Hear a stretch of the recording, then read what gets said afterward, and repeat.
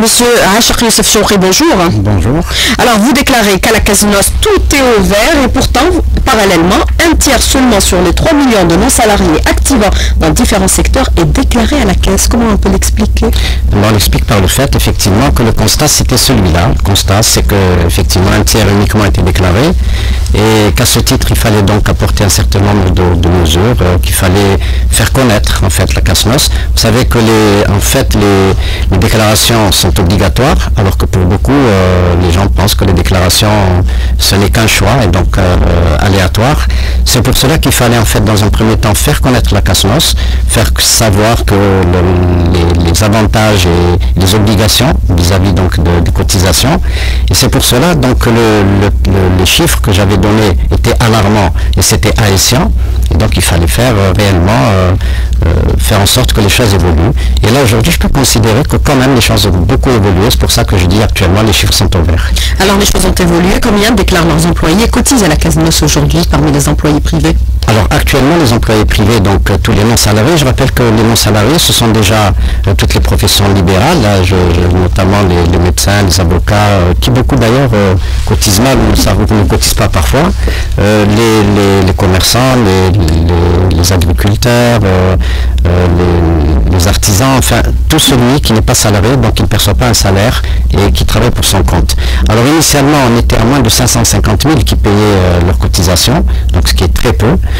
Aujourd'hui, nous avons beaucoup augmenté, nous sommes à plus de pratiquement 750 000.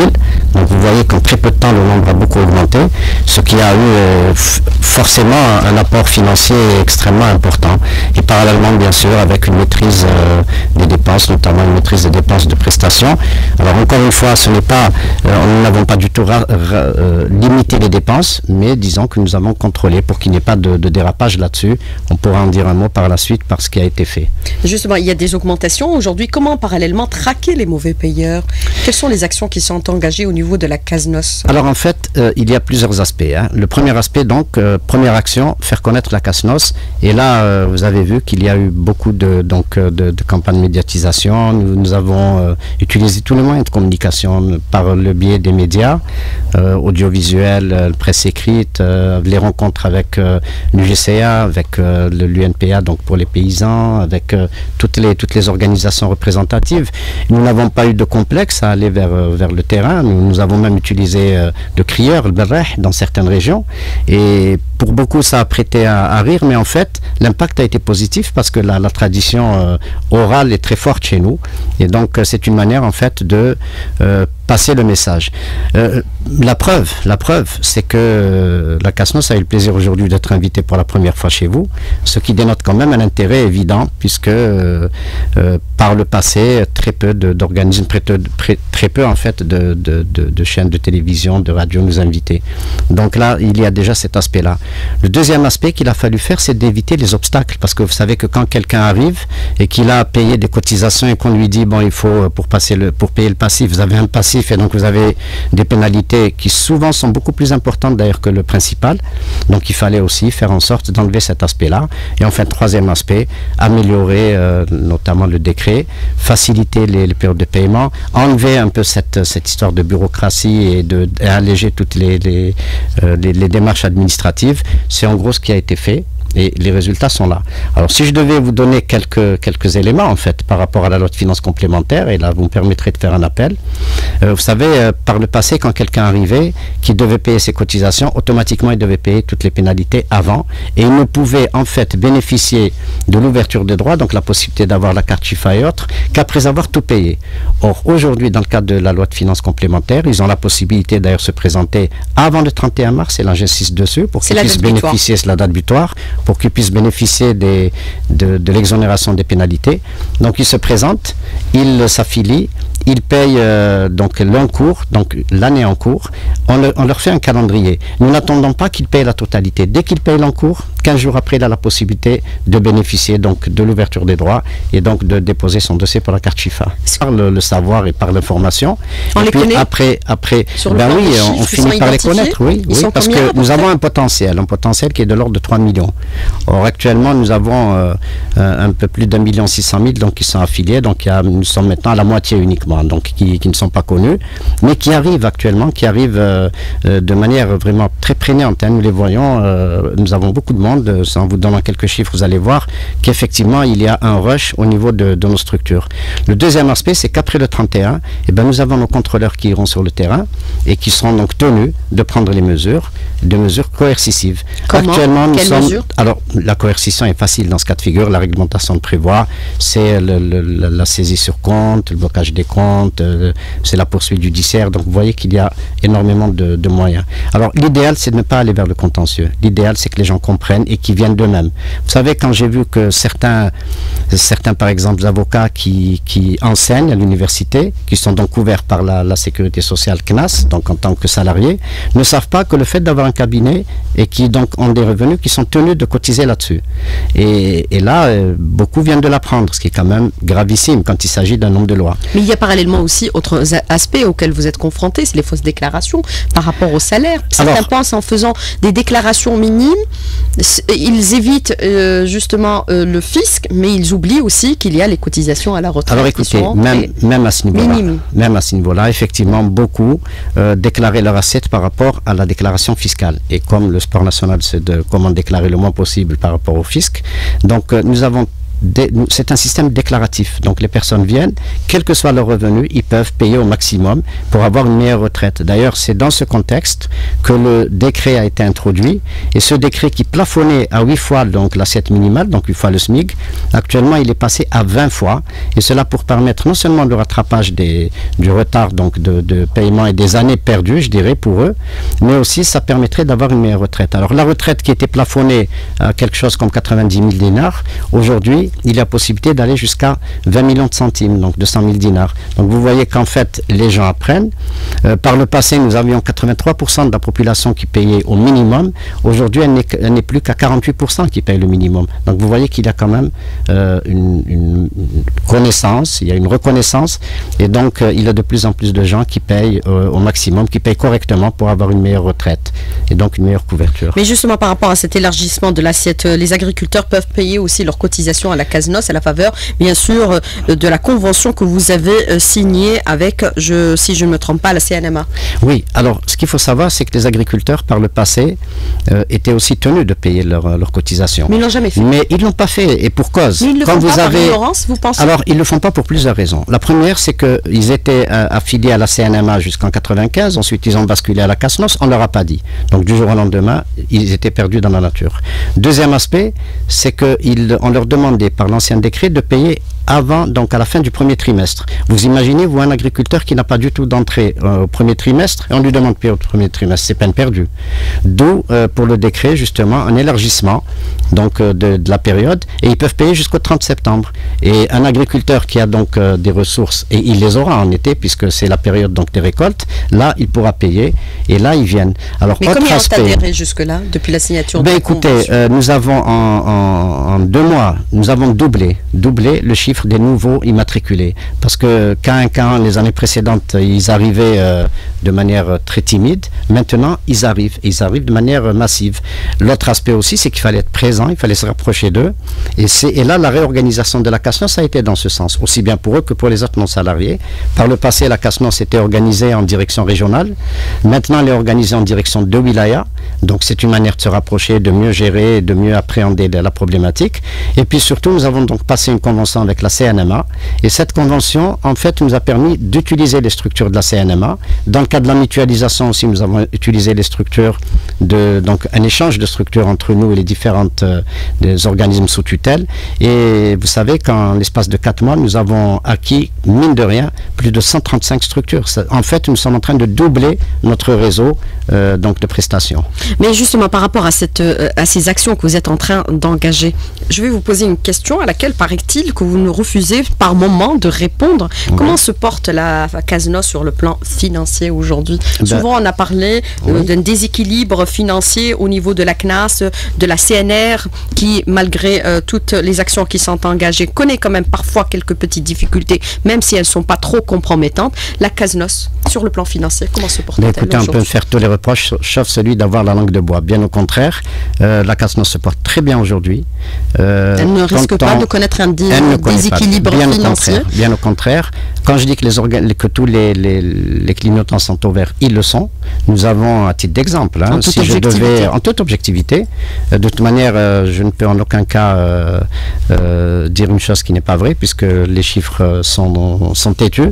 Alors, quand vous comparez, par exemple, le mois de janvier 2016, donc ce mois-ci, par rapport à janvier de l'année dernière, il y a une augmentation des recettes de 58%. Février, il y a une augmentation de 57%. Donc c'est vous dire que c'est une, une, augmentation exponentielle en fait. Le mois de mars est connu pour être un mois euh, où il y a un très fort afflux. Donc nous allons aussi augmenter. Nous avons demandé, et c'est nos prévisions, c'est une augmentation de 30% par rapport à l'année dernière. Or déjà... En chiffres, ça représente quel montant? Est-ce qu'on peut avoir des indicateurs? Oui, actuellement, vous savez, l'année dernière, nous avons, nous avons été sur 43 milliards de dinars. Euh, donc euh, de, de, recettes. Cette année, nous prévoyons 57 milliards, donc avec une augmentation de 30%. Mais en fait, lorsqu'on voit déjà janvier et février où nous avons une augmentation de 58% et 56%, donc une moyenne de 57% d'augmentation, donc vous voyez, le calcul est vite fait. Donc nous allons très vite euh, vers de meilleurs chiffres. Monsieur H, alors Monsieur H. Chouri, vous avez déclaré dans la première partie qu'aujourd'hui, votre volonté, c'est d'élargir votre assiette de cotisants. Vous avez ciblé les agriculteurs, mais euh, ceux que vous voulez également toucher, ce sont ceux activant dans le domaine de l'informel. Comment vous allez faire à partir du moment où ils sont dans l'informel Oui, alors ceux qui sont dans l'informel actuellement, donc dans le cadre des nouvelles dispositions jusqu'au 31 mars, ils ont la possibilité donc de, payer mensuellement euh, la CNAS, donc euh, et avoir une couverture en termes de protection donc d'assurance maladie. Mais en fait, leur, leur, caisse originelle, c'est la CASNOS, puisque ce sont des, non salariés. Mais est-ce que vous n'empiétez pas sur les prérogatives de la CNAS qui a parallèlement initié cette procédure, monsieur En fait, c'est une... oui, donc oui, alors euh, cette, euh, effectivement, cette euh, disposition, elle est conjoncturelle en ce qui les concerne. Hein. c'est jusqu'au 31 mars. Au-delà, donc ils reviennent originellement à la CASNOS, donc ils régularisent leur situation. Vous savez, on a, par exemple, il y a des maçons, il y a des électriciens qui travaillent pour leur compte et ils ne sont nulle part. Donc il leur est demandé d'aller uniquement donc, à la chambre d'artisanat, de faire leur carte d'artisan et puis de venir naturellement à la CASNOS. Donc c'est cela que nous sommes en train de, entre guillemets, de courtiser. Euh, Mais comment vous allez faire pour les toucher, les cibler? Eh bien, eh ben, c'est la communication. La communication, je disais tout à l'heure qu'on utilisait tous les moyens de, communication. C'est réellement du prosélytisme que nous, sommes en train de faire. Et il est évident que les gens viennent, les résultats sont là. Euh, chiffrés, ils sont là. En termes d'augmentation de, de, personnes qui viennent, le nombre augmente. Lorsqu'on voit le, nombre d'affiliés euh, qui est en train de doubler carrément, notamment pour les agriculteurs. Euh, en plus, les agriculteurs, vous savez qu'un agriculteur, généralement, n'a pas de salariés. Ce sont, il a très peu de salariés, en fait. C'est la famille, c'est les aidants familiaux. Et c'est une nouvelle notion qui a été introduite. Donc, les aidants familiaux qui eux-mêmes deviennent assurés sociaux quand ils n'ont pas la possibilité d'être ayant droit. Vous savez que ayant droit, c'est l'épouse, c'est les enfants euh, jusqu'à un certain âge. Mais après, euh, ils n'ont plus cette couverture. Donc là, en tant qu'aidants familiaux, ils peuvent cotiser et devenir assurés sociaux. Donc, c'est une nouvelle possibilité pour eux. Donc vous voyez qu'en fait, euh, toutes les, toutes les, démarches de protection sociale réellement des agriculteurs sont mises en place et pour tous les non-salariés. Il s'agit donc pour eux de savoir, c'est ce que nous sommes en train de faire et l'émission d'aujourd'hui euh, en fait partie, qu'ils sachent qu'ils sont tenus de payer leur cotisation qui est une obligation, qu'ils ont une couverture, qu'ils ont une retraite, que cette retraite va couvrir aussi bien eux-mêmes que leurs ayants droit, que la prise en charge par la CASNOS se fait euh, notamment par le paiement, donc le recouvrement, les prestations et puis la retraite donc c'est une caisse complète en fait. Vous les ciblez même ceux activant dans de l'artisanat ah ben oui, à domicile, par exemple. Oui, la femme qui travaille à domicile, qui peut nous écouter maintenant, qui fait des gâteaux, qui fait de la couture ou autre, peut faire une carte d'artisan. Et avec cette carte, elle vient, donc elle paye ses cotisations, elle est couverte aussi bien pour elle. Et elle a sur sa retraite. et elle a sur sa retraite, ce qui et elle a la carte Chifa. Et elle a sa carte Chifa. Alors, mais justement, euh, est-ce que c'est par rapport à ceux qui activent dans le domaine de l'informel, c'est une façon de les intégrer dans la sphère euh, formelle? Mais écoutez, moi je pars du principe. Voilà, je pars du principe que l'intégration de l'informel dans le formel passe par la protection sociale sociale. C'est le seul moyen de les amener à cela. Parce que être dans l'informel, c'est vrai que très souvent, ils se font beaucoup d'argent, mais c'est toujours conjoncturel, c'est aléatoire et donc c'est précaire. Alors qu'en fait, le fait d'avoir une couverture euh, sociale, qu'ils sachent qu'ils ont une couverture à tout moment, qu'ils peuvent tomber malades, qu'ils sont couverts, qu'ils peuvent avoir leur retraite, c'est la seule manière de droit également. Eux et leurs ayants droit. Et donc c'est un peu le, point fort d'ailleurs. Vous savez, on peut être insensible à soi-même, mais on ne peut pas être insensible à ses enfants et à ses, à ses endroits, sachant que les ayants droit, c'est le conjoint, c'est les enfants, c'est les collatéraux au premier degré pour les femmes, et ce sont les parents, les ascendants, les parents, les grands-parents et les beaux-parents. Donc vous voyez qu'un seul cotisant, regardez tout ce qu'il offre comme couverture et le nombre d'ayants droit qui sont couverts. Mais en termes clairs, il faut penser aussi parallèlement à ces vieux jours. Et notamment, oui, euh, je pense que c'est une nécessité absolue. Alors, euh, est-ce que parallèlement à cela, vous avez engagé des procédures d'allègement euh, des actions d'inscription au niveau de la CASNOS Parce que ce qui est relevé aujourd'hui, c'est le lourdeur bureaucratique par ben, moment, monsieur. Ça a été, je pense que ça a été le cheval de bataille de, notre ministre, déjà quand il était en ancien ministère, donc il a commencé les procédures. Au niveau de notre ministère aussi, dans tous les secteurs, à plus forte raison, donc pour nous, pour la CASNOS, nous demandons pratiquement, pratiquement rien, c'est un système déclaratif. Les extraits de naissance, tous les documents maintenant, et d'ailleurs une instruction a été donnée même pour les tout documents, hein, même pour l'histoire du certificat de vie. Euh, donc tout cela, c'est le, nous rentrons directement dans la base de données du ministère de l'Intérieur et donc nous ne demandons même plus d'extrait de naissance et autres. Donc vous voyez que c'est un, allègement majeur.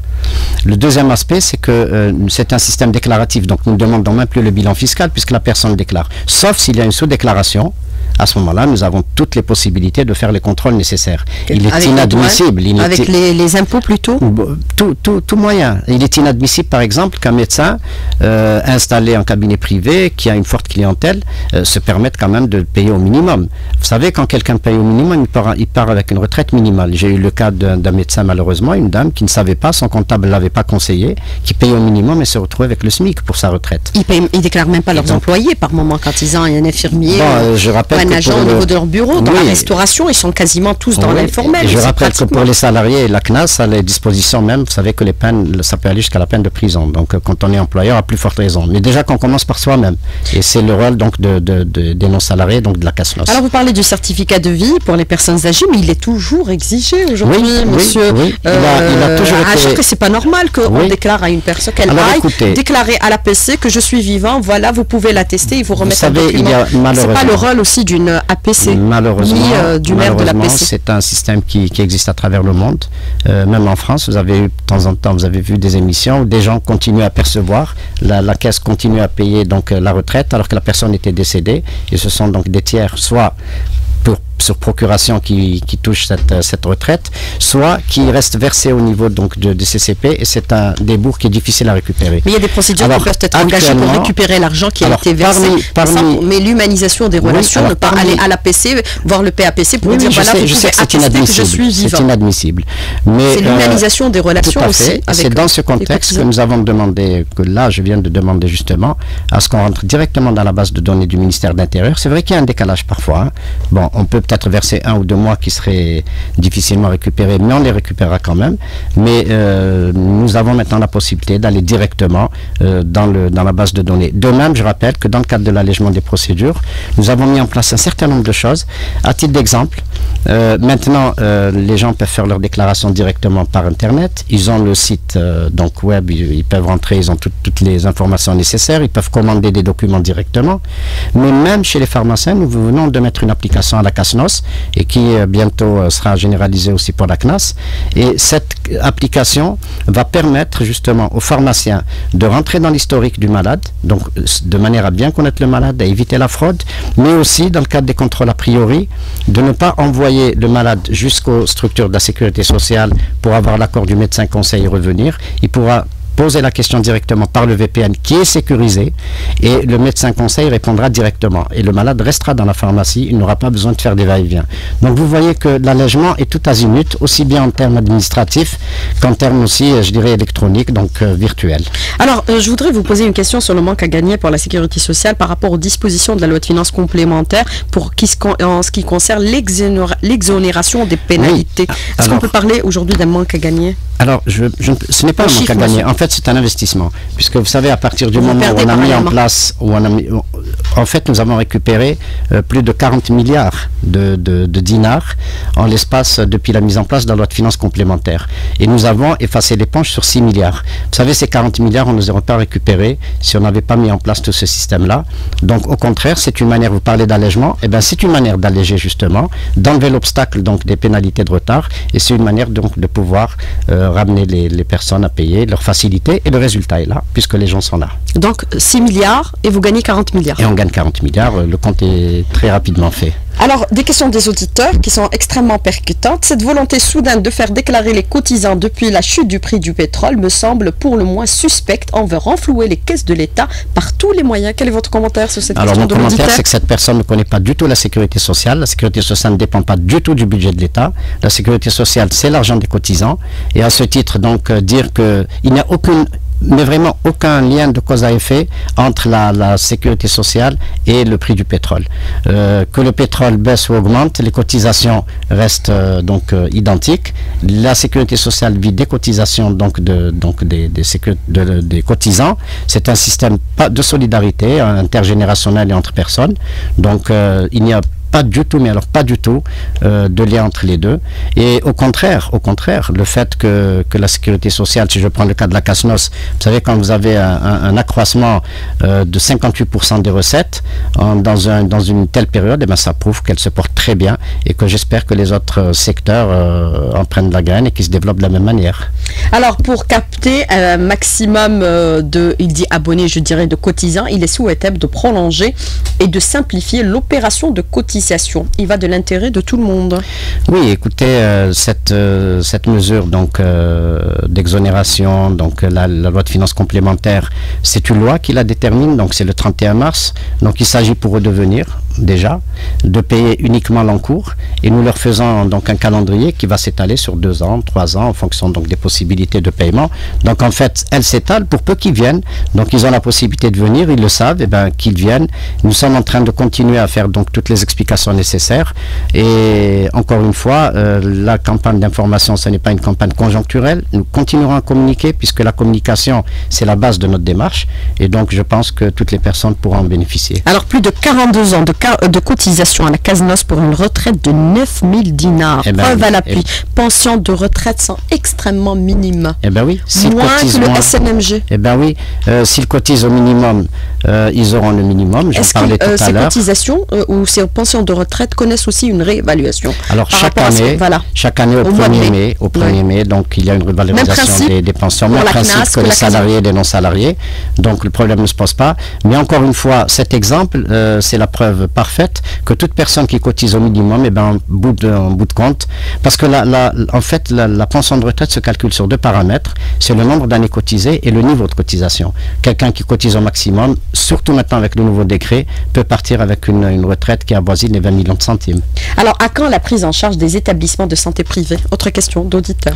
Eh bien, actuellement, donc c'est un programme, actuellement, les, nous prenons en charge les conventions, nous avons des conventions avec la chirurgie cardiovasculaire, avec les donc ce sont en fait les, deux secteurs qui, les plus onéreux pour les, pour les balades. Et pourquoi pas dans une deuxième phase euh, améliorer encore les, cotisations et améliorer surtout les conventions donc avec d'autres secteurs. Alors lorsqu'on est gérant, donc déclaré à la CNAS et en même temps associé donc affilié à la CASNOS, quels sont les avantages reçus dans pareil cas eh bien, Écoutez, ils sont tenus de payer les cotisations des deux caisses et ils auront donc une coordination de la retraite, donc ils vont se, se, se, se rajouter euh, dans le cadre d'un donc de la réglementation en vigueur. Alors, euh, pourquoi obliger, euh, oblige-t-on un salarié retraité à la CNAS et à la retraite complète à cotiser davantage à la CASNOS dans le cas où il ouvre un commerce ou une entreprise après la retraite? Ben oui, alors là, ça rentre justement dans le cadre de la solidarité, puisque une personne qui a déjà sa retraite, mais qui reste active, donc euh, continuera donc après 65 ans s'il perçoit sa retraite de non salarié, et eh ben il continuera à payer parce qu'il a donc une rentrée des revenus, il paiera ses, ses impôts là-dessus et il paiera ses cotisations qui iront vers les personnes qui en ont besoin parce que c'est la solidarité intergénérationnelle et interpersonnelle.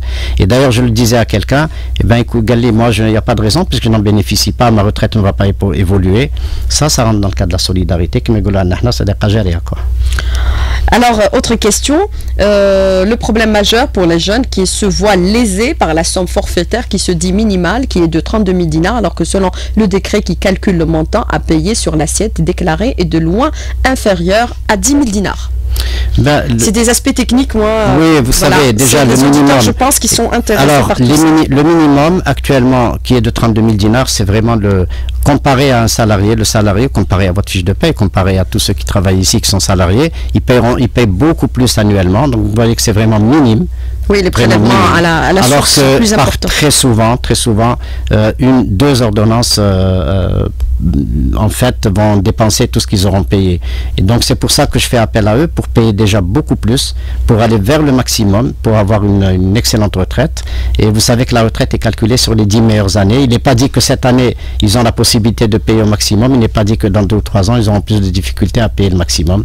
Autant en profiter. Alors les associés non salariés d'une SAR sont-ils concernés par la déclaration à la CASNOS, la responsabilité de la déclaration incombe à la société ou aux associés ben, les associés doivent payer à partir du moment où ils sont statutairement, ils existent statutairement. Euh, donc euh, chacun d'entre eux se devra payer donc ses cotisations.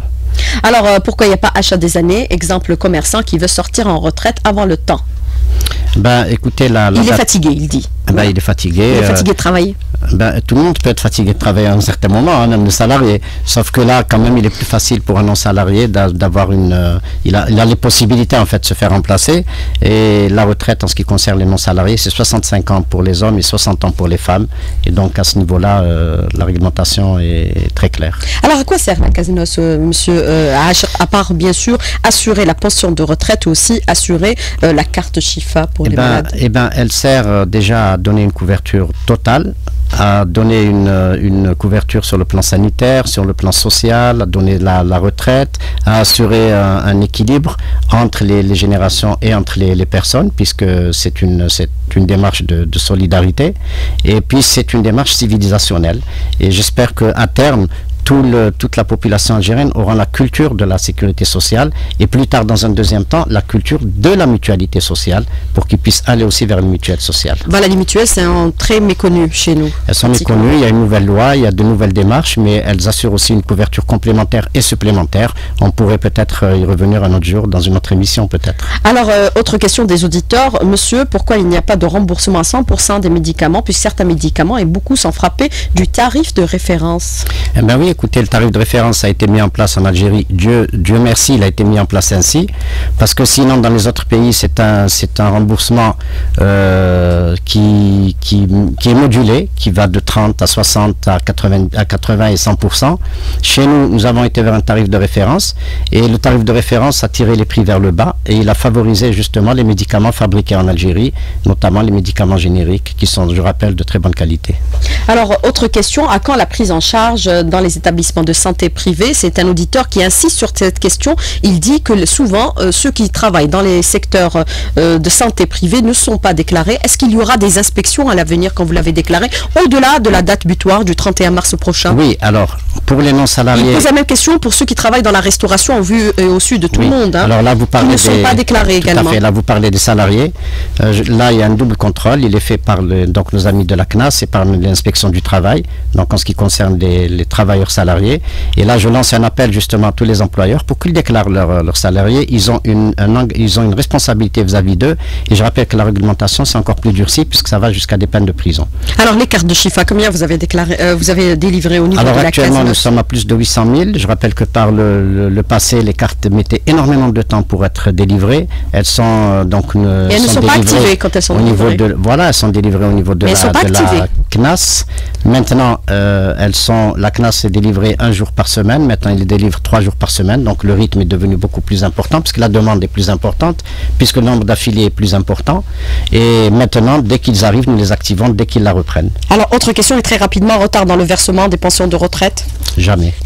Jamais? Jamais. Je suis catégorique là-dessus. On va faire un reportage chez vous alors. D'accord. Monsieur Hachri Youssef Chouri, merci d'avoir répondu à nos questions et d'avoir été en direct avec nous ce matin dans le studio. Merci, c'est moi. Merci.